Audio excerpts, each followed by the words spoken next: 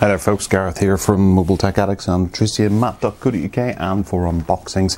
And today I'm having a look at uh, the Archos Gamepad 2. This is a, well, an Android tablet from that cunning little French company Archos. It's got 8 gigabytes inside it, quad core CPU, 7 inch IPS display, game mapping tool, which I'm particularly interested in, and Wi Fi display that displays your Wi-Fi, which is novel, I suppose. It says here Android 4.2 Jelly Bean, but I'm hoping that it's a slightly better version than that by now. It's been out a little while, so I don't see why it wouldn't be. Also included are Modern Combat 4, Asphalt 8 Airborne. Looking around the device, which has already been tampered with. Someone's had this before me. And you can see here the specifications show on the side that it's Android 4.2, 7 inch multi touch display, a quad core ARM Cortex A9 1.6 GHz processor with a 400 MP4 GPU by Mali. 2 gigabytes of RAM, that's more than I expected. And Wi Fi, Wi Fi display again, uh, Bluetooth 4.0 micro USB, audio jack, blah, blah, blah, blah, blah. Dual analog thumbsticks, front facing camera, built in speakers, G sensor, and compass. Alright, so uh, Asphalt Modern Combat 4 World of Goo, which they gave away with a couple of their other tablets. Uh, Google Mobile Services, YouTube, blah blah blah blah blah, Archos Media Center. Okay, on the back here, Again, it brags about some of the specifications here and shows us some classic graphics from some Gameloft classics. Over here we've got thousands of games to download. Does everything a tablet does. Internet and multimedia stuff and the Archos mapping tool which allows you to take the touchscreen buttons and marry them up with the hardware buttons in an app that drops down from the top. Hopefully we can get that working. There are pre-configured uh, ones, and if there aren't any, then you can do it yourself, which is very nice. Coming on there, guff. All right, so inside the device, inside the box, we have a plastic thing over the top here. Looks a bit like an Android there. It's uh, yep. Okay, so it's like unboxing a cake here, and we're going to find uh, some vanilla cream puff stuff. And there we have it. That is the Archos Gamepad 2. This is dust. Lots of dust. Okay, it's uh, it's a lot thicker than I actually imagined. It's not terribly thick, mind you, but it's, it's a lot thicker. Yeah, we'll come back to the device in a minute. We'll have a look and see what else is in the box. Plastic thing. A charger for charging. It's a bit like the Nexus chargers, I suppose, with uh, interchangeable pieces to it. A USB, micro USB cable. Gumph, using the Archos mapping tool. How to do it, how to play, and that sort of thing. Warnings. Achtung, precaution.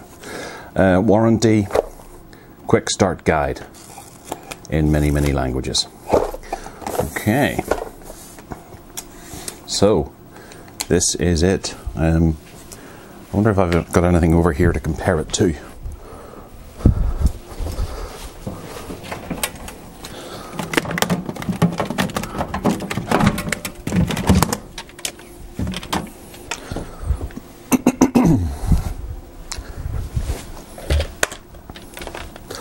So as it's a gaming device, I thought I'd set that. That's the PSP Slim 2000. Ah, yeah, well, it's a PSP Slim, it's not the fat one. And then, obviously, that is that. It's a little bit bigger than a PSP, which is nice because it's got a good generous screen here. What else could it be? The same size. It's about the same size as an Atari Lynx 2. It's a little thinner, It's not quite as fat as an Atari Lynx 2. They, they do compare like that. Yes, and then Secondly, there is the Sega Game Gear, which it's a lot bigger than, but again, a lot thinner. That's kind of nice.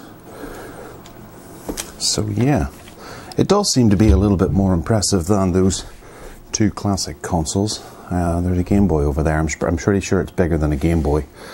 Very reflectant screen. There's me. And you can see the light and the other light. Yeah. All right. So uh, while we're on the device, we have rather nice uh, D-pads. That, that's nice, spongy, responsive D-pad. Let's uh, take it in comparison to this here, which is a, a true and highly tested D-pad. I know which one I'd rather have. This in here. Yep, yep, yep. Uh, this is a fantastic D-pad by comparison. Okay, and we have a thumbstick here, which again we can compare with the thumbstick here. Mm, okay, I think Sony has the edge there. This does doesn't seem to return too easily. Feels like it might get clogged with dust or something. And there's a select button just down there. Forward facing speaker. Archos Gamepad 2 spelled correctly. Forward facing speaker. The start button. Another. Oh, that. Uh, you can. I don't know if you can hear that.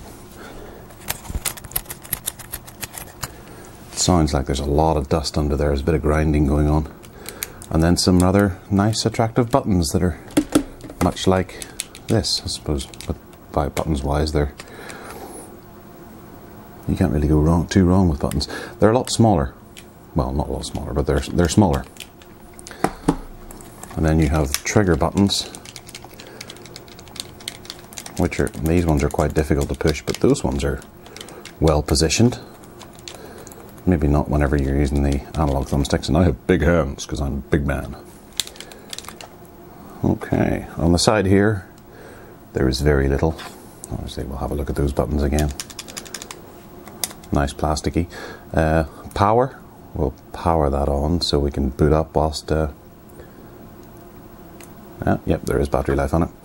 Uh, volume rocker on the top there. That appears to be maybe a microphone. An HDMI out, 3.5 millimeter headphone jack, uh, a micro USB, you can see that actually the light's not terribly good. And then of course the top buttons. Around this side, again, nothing. Along the bottom, nothing. On the back, well, I suppose this qualifies as on the back and on the bottom. It's a micro SD card slot there. It's a textured plastic to the back. It says HDMI on there. And then there's slight hand grips there. They're not very large.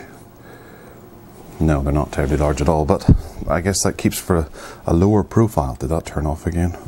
No? Okay. Uh, forward facing camera. Not sure what the spec is on that. Okay, right. So we've got it unlocked. I'll move this crap out of the way. We'll see what we can do. Let's uh, let's go straight for Asphalt 8. So hopefully it's pre-configured. You can see that okay. Yes, there we go.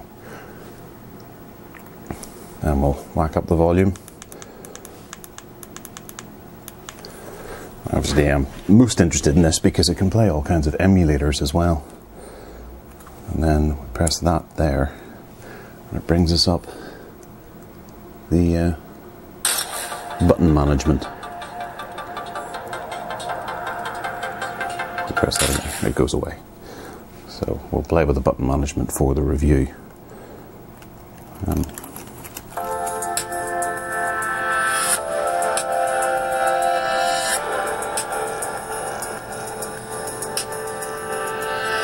For a quick solo race. Bear in mind I have no idea what the controls are here, but the, the screen is quite nice. It's uh, it is quite reflectant, quite glossy but it's bright, bright and colourful. I'm interested to see what the battery life would be on this. Obviously, you wouldn't want to be watching full screen movies on this uh, all day long, but well, no, it works okay. Barcelona.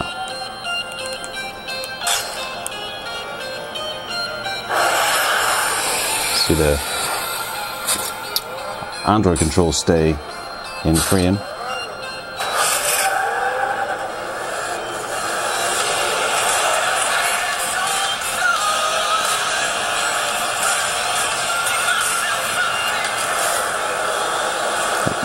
Nice tutorial there. Can use either buttons.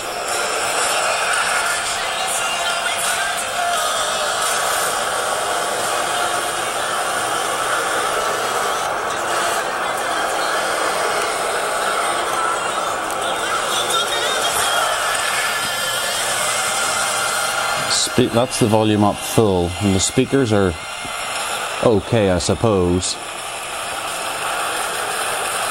It is just a lot of noise at the moment.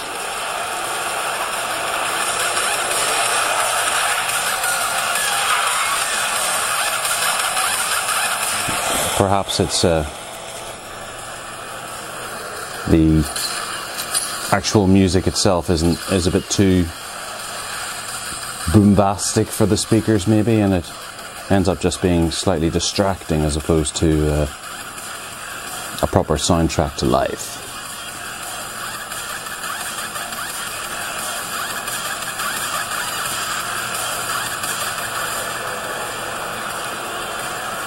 Okay. Yeah, you could yeah, you could get used to those controls in game. It's kind of nice to have a to play Android games with a without a touchscreen because you get to see the whole picture. Your thumbs aren't blocking parts of the picture or the screen to uh, to enable you to control it.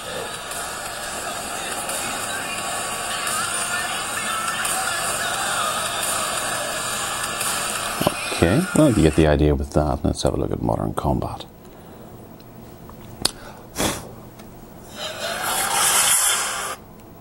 Oh, start button takes you back to. Oh yeah, and then it resumes from where you were. That's kind of nice.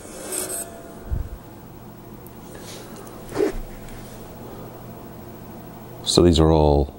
Oh well, there's an update, a meltdown update. These are all pre-installed so you don't have to download all the other gunk that comes with it.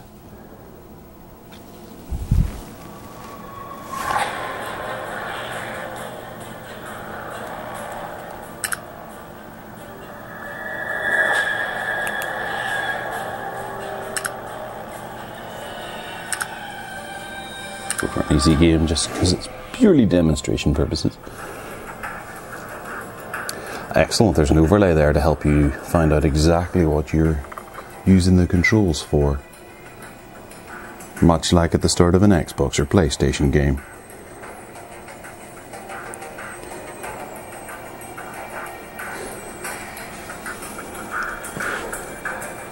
The load times do seem to be quite long on this. Um, well, no, I suppose they're not really. I suppose it's the first run, isn't it?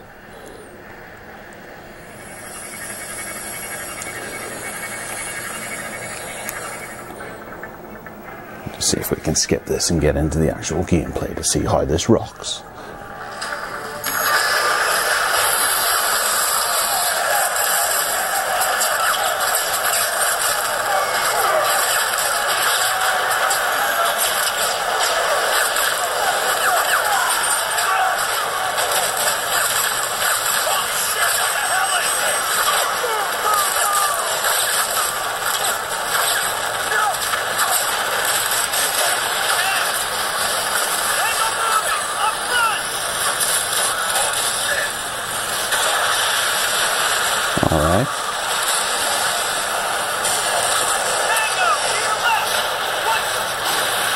Oh, I'm supposed to follow the person behind me.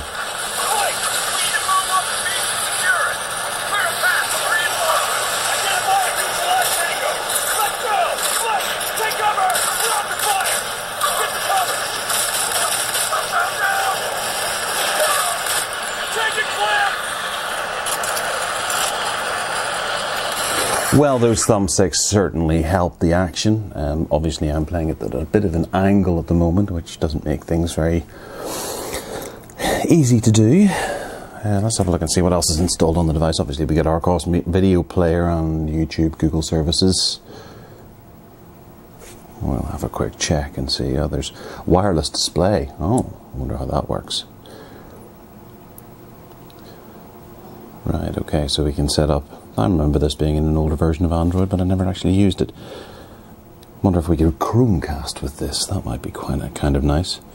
Uh, we'll fire down and see about the tablet. It says uh, version 4.2.2.